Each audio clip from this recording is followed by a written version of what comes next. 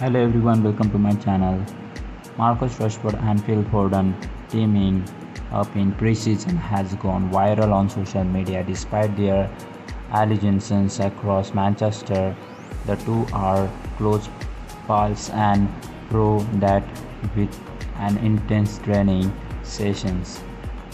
While both clubs are yet to start their preseason tour that has not stopped Rashford and Foden from getting into shape well ahead of schedule and it culminated in a beautiful goal in the sun with the Manchester City is popping one up for the Manchester United forward who posted the clip onto social media